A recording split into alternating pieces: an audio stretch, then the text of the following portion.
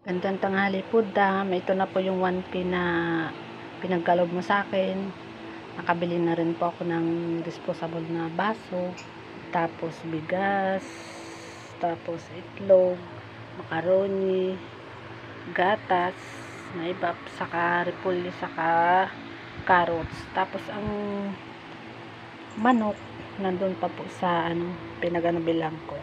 Iniwan ko po kasi bukas pa ako ano, ah, magluluto saka yung hotdog. Yun po yung ano ko lang. Tapos ayan po yung natirang ano ah sukle. 33 din po. Ayan. Thank you very much, madam, sa ano blessing na pinagkalob mo sa akin. God bless po. And happy wedding anniversary po sa inyong dalawa ni Sir Joseph. Thank you, Sir Joseph, sa 1K. Salamat po.